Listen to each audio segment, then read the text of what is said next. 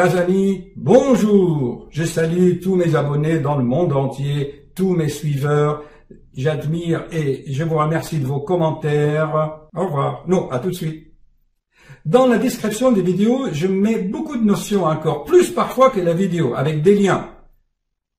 Prenez un peu de temps pour les lire et vous enrichir. À tout de suite. Chers amis, bonjour. En discutant avec une sympathique patiente, après mille et mille discussions, de propositions, des solutions, elle fait pas ce que je dis. Elle mange pas, elle est fine comme ça, elle a des jambes en allumette, elle est toute maigre, elle veut pas manger, et elle fait de l'arythmie. Alors, son électrocardiogramme est normal, son échocardiographie est normale, tout est normal, et comme d'habitude, j'ai dit que c'est digestif. Alors, quand elle mange, elle a la barre ici, son estomac se remplit vite, elle fait des malaises vagos, c'est le nerf vague, et son cœur est trop lent, c'est le nerf vague qui est stimulé par les troubles digestifs. Donc, ce sont des arythmies d'origine digestive. D'accord? Et pourquoi elle a des troubles digestifs? Parce qu'elle a des troubles psychiques. Quand elle était jeune, 15 ans, elle voulait pas grossir, elle avait des troubles hormonaux, elle est nia nia nia nia nia nia sur le manger, oui, je mange. Et quand je dis qu'il faut extraire les jus de légumes parce que c'est riche en minéraux pour soigner son, ses troubles digestifs, elle n'a pas encore acheté l'extracteur. Elle veut... Bon, elle a changé de mari, elle a changé de maison, elle a changé de langue. Euh, qu'est-ce qu'il faut faire? Et finalement, après réflexion, on a trouvé quelle est la meilleure façon pour ne plus être préoccupé de ces arythmies cardiaques, de ces palpitations. C'est quoi? Il faut quoi? Bien respirer, bien vivre. Atmen, bitte, oui. Et quoi encore? Faire du yoga. Faire du yoga. Elle, a un blocage de diaphragme, elle respire pas. D'accord. Euh, Monter les escaliers. Ouais. Et quoi encore? Quelque chose de radical pour ne pas sentir son cœur, qu'est-ce que vous êtes avec un homme Oui. Alors qu'est-ce qu'il peut faire pour Ah, vous bah, il faut faire l'amour, alors c'est ça. Ah, euh, Oui, d'accord. Mais encore, encore quelque chose de plus. Et s'il peut pas, s'il est impuissant, il peut faire des câlins ou il peut faire autre chose. Qu'est-ce qu'il peut faire Qu'est-ce qu'il peut faire? Il peut Un niveau vibratoire très haut. Il peut me masser. Oui, mais encore plus haut de vibration. Quelque chose. Pourquoi on est sur Terre? Qu'est-ce qu'on a dans le cœur? Ah, qu'est-ce qu'on a dans le cœur? On a, Pourquoi vous êtes ensemble? on a beaucoup d'amour. Ah, l'amour. Donc il y a de l'amour dans le cœur. Et comment on peut réaliser cet amour? C'est quoi pour vous l'amour? Vous avez déjà changé de mari, fait des enfants et ça ne m'a pas marché. Alors qu'est-ce que c'est l'amour? Ben, c'est, euh, euh, voilà, euh, c'est faire du bien à euh, Faire du bien, comme ça. Voilà, faire du bien. Et quoi encore Euh, C'est euh, avoir des projets. Très bien, des projets en commun. voilà. Vous dites euh, en votre qualité d'enseignante, Antoine Saint-Ex, qu'est-ce qu'il a dit? Ce n'est pas l'amour, ce n'est pas de se regarder dans les yeux, mais regarder ensemble vers le même objectif. Et quoi encore? Et quoi encore? Dans votre cas particulier, pour ne pas sentir ces oppressions, ces barres, ces qu'est-ce qu'il faut faire Il faut essayer de se détendre. euh, Oui. ouais. Donc vous avez remarqué, chers amis, que quoi encore qu'on n'a pas encore atteint l'essentiel. Allez-y, monsieur, vous pouvez participer, même avec votre masque. hein. Le masque, le virus, c'est politique. D'accord Je l'ai expliqué. Respirer par le ventre. hein. Oui, et quoi encore Étant, Prenez en compte les données, les données de la situation. Vous êtes ensemble, Oui, vous vivez ensemble, oui. et pourtant vous avez le cœur qui palpite, alors qu'il est normal. tout à fait. Alors, qu'est-ce qui se passe? Monsieur, vous n'avez pas d'idée? Vous, vous n'avez pas de palpitation. Non, Hmm. a priori non. non, non. Parce que euh, peut-être. Il est où votre cœur? Ah, il est là. Oui. Est-ce qu'on peut le changer de place? Non. Si Ah bon? Symboliquement. Ah, Ah, Symboliquement, pas par le physiquement. bon, alors il faut le mettre là-haut, cerveau. Ah, oui. C'est-à-dire penser l'intelligence du Voilà, cœur. voilà, Penser avec ça. le cœur. Voilà, Et c'est quoi euh, euh, penser avec le cœur et avoir une approche de l'autre avec le cœur C'est? Bah, être altruiste. Altruiste, euh, bravo. Et en langage autrement, comment on peut dire, en langage un peu oriental, bouddhiste? Euh, puisque vous êtes instruite. Monsieur, Euh, ah, c'est le, le karma, c'est ça, non? C'est la- pour l'autre, pour, euh, voilà, pour tout, ce- c'est tout ce qui ira. quelque chose avec l'autre compassion. Euh, Ah, C'est quoi la compassion La compassion? On a de l'empathie pour quelqu'un. C'est quoi l'empathie à l'occidental L'empathie, qu'il faut c'est développer que- C'est que bah, il faut pas euh, regarder son nombril, il faut regarder euh, l'autre. Ah Son nombril. Voilà. Et dans votre cas particulier, c'est quoi votre nombril? C'est Ah, bah, c'est peut-être mon. Et un peu plus haut Ah, pour vous, l'ombril du monde, c'est le cœur. Il en a que c'est l'estomac, il en a que c'est la jambe qui boite, euh, il en a que c'est la gorge, il se bloque. Mais vous, votre nombril, c'est euh, symboliquement le cœur. Alors, qu'est-ce que vous pouvez faire pour le déplacer? Puisqu'il il est là, regardez-le, qu'est-ce qu'il peut faire? Ben, euh, Bon, allez, on va conclure. Une vie plus, une, une vie plus, plus décontractée. Oui, mais suivons, suivons ce vague, hein, ce chemin. On a dit l'empathie, la compassion, la bienveillance, La compréhension. la compréhension. Et quoi encore? Allez-y. Quand vos enfants, ils étaient petits, tout petits, et qu'ils se blessaient, vous, qu'est-ce que vous auriez aimé? Ben, J'aurais aimé euh, justement les guérir plus vite. hein. Et quoi encore Ben, J'aurais aimé. euh, Quand vous le voyez pleurer et souffrir, apaiser, apaiser, Et souffrir. consoler, euh, voilà, ouais. les aimer en père, oui, et très bien. voilà. Et quoi encore? Ben, les soulager. euh, Oui, vous voyez, chers amis, en Occident, on n'a pas cette idée. Non, peut-être pas. Euh, Voilà. Moi, une fois, euh, j'ai connu euh, une patiente marocaine comme ça, orientale, euh, bouddhiste un peu, tout ça. On a parlé de tout ça.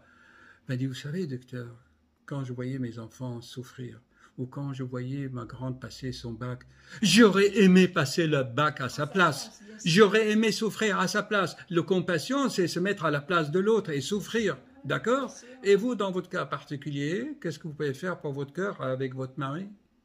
Monsieur, qu'est-ce que vous pouvez faire? Bah, c'est vraiment. euh, Mais euh, euh, la cause, c'est lui. Qu'est-ce que vous pouvez faire pour votre euh, euh, copine, là? Il faut rien, là, avec son masque, là, sur le nez, comme ça. Non, mais c'est.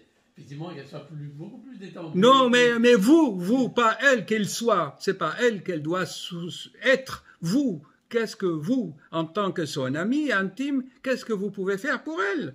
En, en fonction des exemples que je viens de donner de, de- de la marocaine.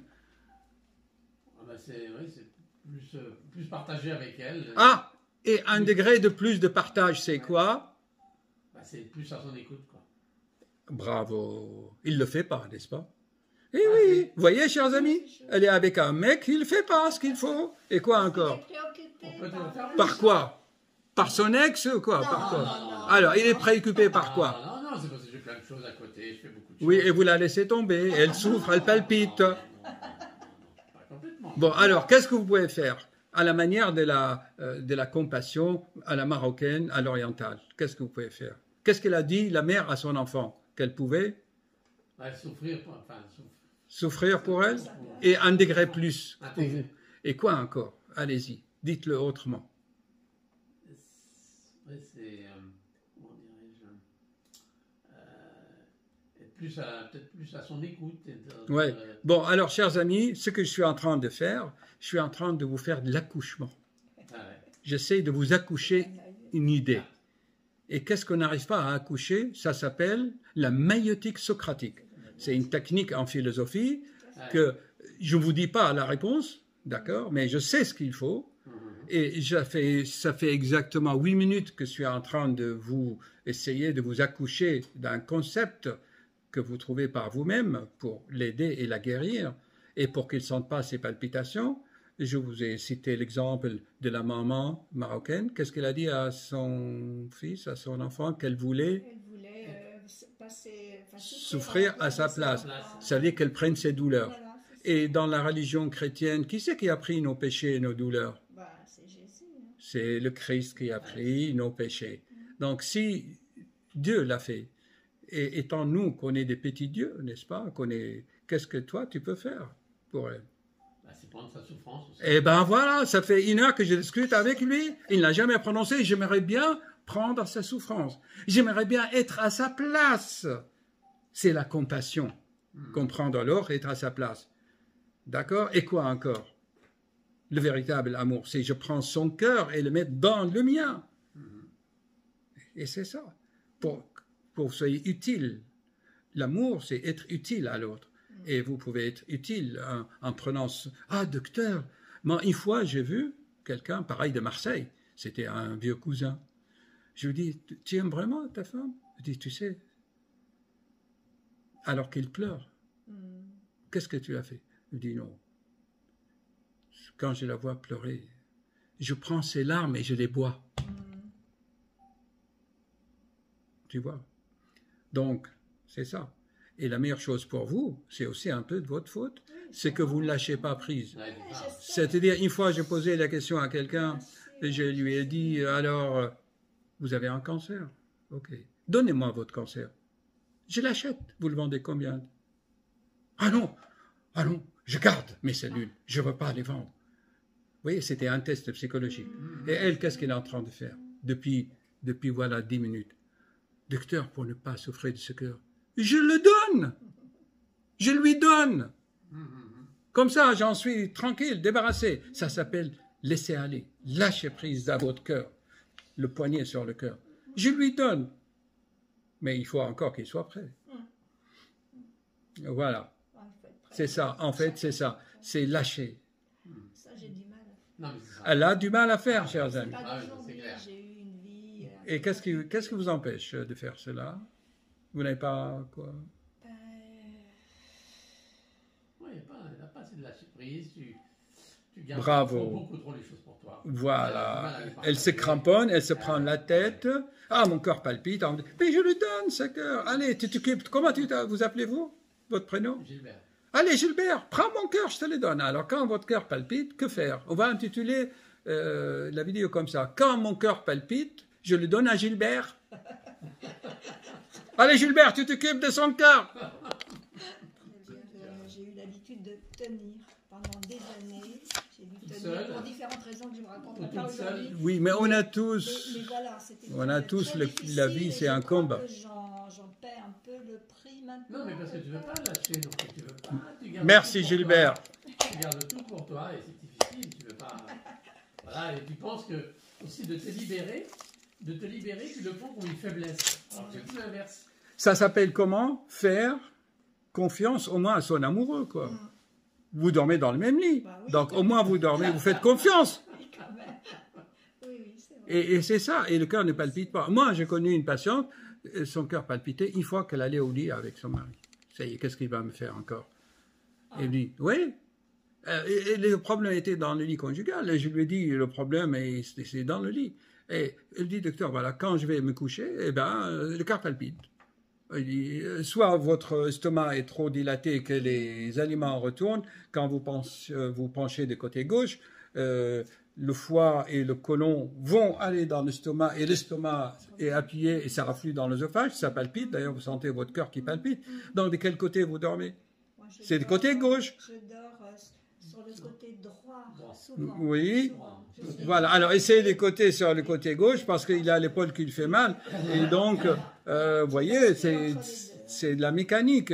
Essayez par vous-même. Alors, donc, vous avez beaucoup de choses à faire. Gilbert va prendre votre cœur, vous changez de côté pour dormir, vous changez de côté du lit, remontez votre lit. Je fais une, vidéo là-dessus. Inclinez votre lit au moins de 3-5 cm. Essayez. Oui, essayez mille choses, puisque, puisque votre cœur est normal. Donc, il faut chercher les variantes autour, pas d'autres, les autres facteurs qui enclenchent. Euh, voilà. Bon, allez, on lui demande les tests. Hein. Euh, test. Vous faites le test de l'estomac pour voir si la bactérie est partie. Vous voyez, chers amis, c'est que elle a une bactérie dans l'estomac qui lui fait palpiter le cœur et lui déclenche le- les malaises vagaux. Vous faites ça, changez les, hum, euh, changez les, euh, euh, beaucoup de changements. Euh, IM stable fonctionnel. Grade 2. Stable, voilà. D'accord? Dès que vous avez les tests, et vous laissez passer à moi, vous me recontactez pour euh, refaire le point. Oui. Et à ce moment-là, dites-moi, docteur, on fait un peu de vélo. Oui. Donc, euh, extracteur de légumes tout de suite, vous l'avez sur Amazon le lendemain ou chez Darty pour euh, 80 euros. Vous lui faites euh, donc betterave, euh, céleri, ensuite un jour euh, carotte, euh, citron vert avec l'écorce des, des zestes, avec un peu de gingembre euh, pour l'estomac, d'accord. Euh, et puis vous notez surtout la barre, parce que sinon vous nous induisez sur des fausses pistes. Bon, sauver l'humanité. De toute façon, les vaccins. de- oui, de- euh, le vaccin, c'est du commercial, Ben c'est c'est des petits virus à, à arène. Euh, la preuve qu'ils ne sont pas dangereux, c'est qu'il faut les refaire tous les Ouais. trois mois, il faut en faire deux rappels, trois rappels. Ça prouve quoi Ça prouve que s'ils étaient vraiment forts et intelligents, on n'aurait pas été obligé de faire des rappels. C'est parce qu'ils sont inefficaces, parce que c'est vraiment du commerce, quoi. Hein voilà ce que je pense des vaccins. Mais les vaccins ont sauvé l'humanité. Il faut peut-être voir, tant qu'il ne vient pas frapper chez vous, euh, vous n'êtes pas obligé. Mais si vous sentez que ça vous rassure, euh, vous savez, moi, je. C'est psychologique. Hein, souvent, euh, moi, j'ai vu quelqu'un, même autre vaccin, où ils voient le sang, ils font un malaise vagal. Euh, et vous leur faites un petit. C'est. Hein. Bon, allez, tout va s'arranger. Merci, docteur.